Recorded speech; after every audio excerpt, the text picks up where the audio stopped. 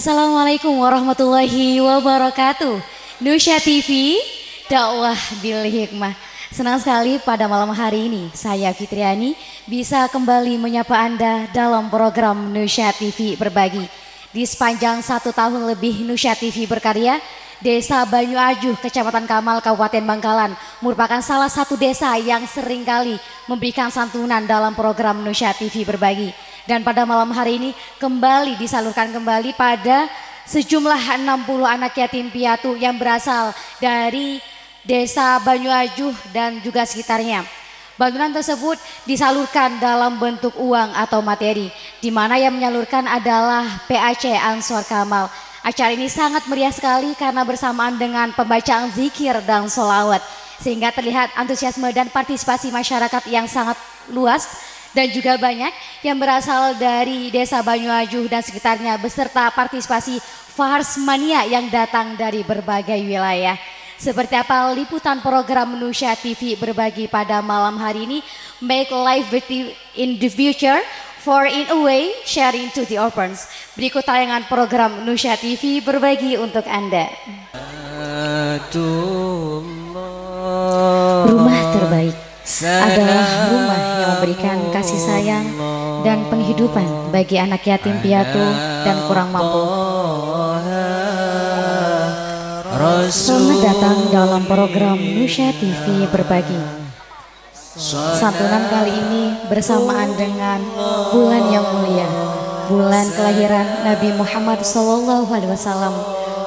Sebanyak 60 orang yang berasal dari berbagai desa di Kecamatan Kamal pada malam hari ini mendapatkan santunan kembali dalam program Nusya TV Berbagi.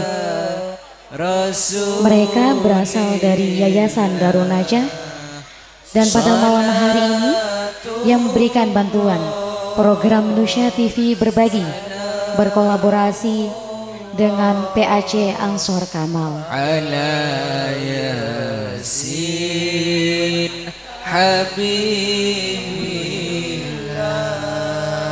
Apa yang diberikan hari ini sebagai bentuk berbagi kebahagiaan melalui rezeki yang diharap menjadi pemenuhan kebutuhan hidup yang sifatnya sementara. Juga sebagai cerminan orang-orang di luar sana untuk peduli dan berbagi kepada anak yang bernasib sama seperti mereka. Kalau mereka harus berusaha sendiri tanpa kasih sayang orang tua. Kalau mereka harus bekerja sedang seharusnya merupakan masa menimba ilmu.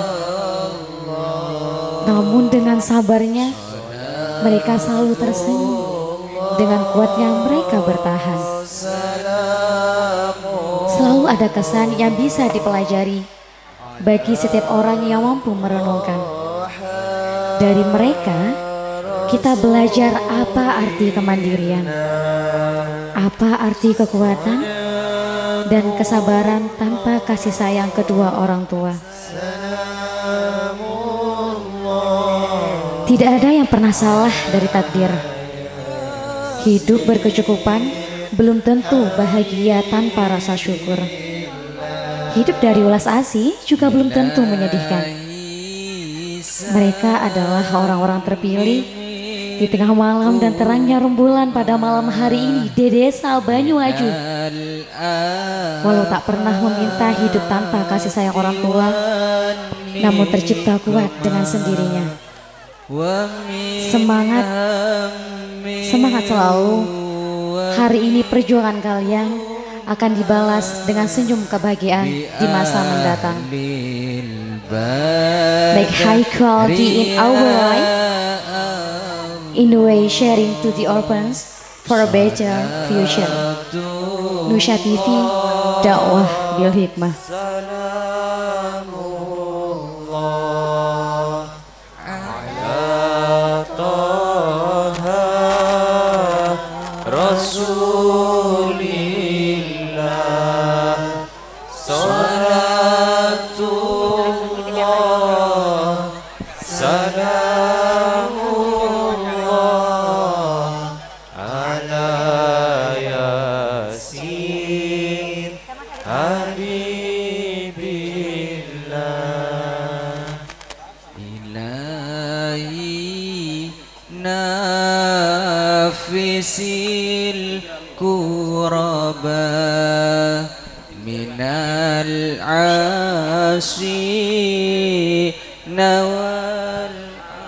Pemirsa Nusya TV berbagi pada malam hari ini karena yang menyalurkan bantuan adalah dari PAC Ansor Kamal. Saya telah bersama dari pihak tuan rumah dengan Abah siapa? Amin Safi'i. Abah yang pertama, apakah cara santunan kepada program Nusya TV berbagi melalui anak yatim piatu ini memang sudah dilaksanakan rutinitas setiap tahun? Apa ini kali pertama? Ya Alhamdulillah kalau santunan yatim itu bukan hanya satu tahun tapi setiap bulan dari Rijalul Ansor Kecamatan Kamal. Itu. Cuma sekarang berbarengan dengan Maulidur Rasul strip santunan yatim yang diadakan di Musola Al-Amin Kampung Penyantren. Perlu diketahui bahwa Musola Al-Amin itu sejarahnya wakaf atau jeriah dari Mbak Alih kepada Syekh Amir Mursid lalu kepada abah kami yaitu Kiai Ali Safi'i dan diteruskan kepada saya yaitu Amin Safi'i dan sampai sekarang langgar atau musola ini tetap dijadikan untuk pendidikan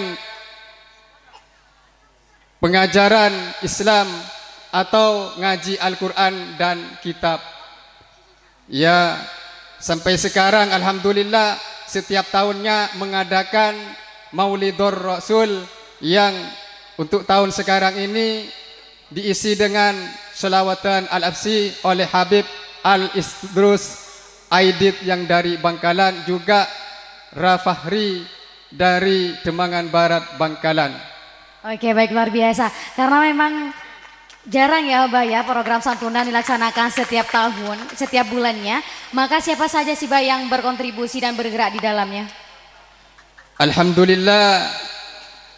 Yang pertama santunan Rijalul Ansor itu melalui yatim donaturnya kami sendiri dan halayak ramai atau masyarakat dari sekitar Kamal dan Bangkalan. Dan kami selaku bendahara Ansor Kecamatan Kamal mengucapkan banyak terima kasih kepada donatur-donatur utamanya Lasisnu yang ikut berkecimpung dalam hadirnya atau suksesnya acara di malam ini. Lantas apakah penerimanya selalu dari Yayasan Darun Najah? Untuk Darun Najah itu baru berdiri di Kamal, sebelumnya hanya door to door di kampung-kampung atau desa-desa yang di situ ada yatim piatu. Lantas kemudian apakah di tahun depan ada rencana yang serupa, Bah? Kurang Rencana yang serupa mau kembali. Oh, untuk rencana kami ya artinya mungkin malam ini baru 60 yatim. Insya Allah untuk bulan-bulan ke depannya bisa 100 yatim. Dan kami doakan semoga juga bisa menyentuh anak-anak yatim piatu di luar kecamatan Kamal ya Abah ya? Ya insya Allah dan kepada dermawan jangan kesal. Artena Kak Dinto cek sampai Bosan keangkui menyantuni anak yatim. Oke luar biasa semoga ajakannya dapat diterima oleh masyarakat. Dan yang terakhir Abah berikan harapan terbesar dari pihak tuan rumah setelah program Nusya TV berbagi ini terlaksana.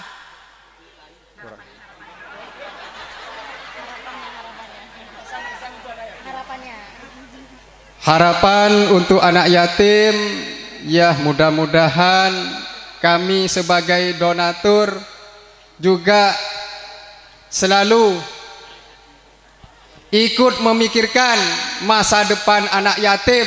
Moga-moga barokah rizkinya. Dan yang pertama diampuni dosa-dosanya.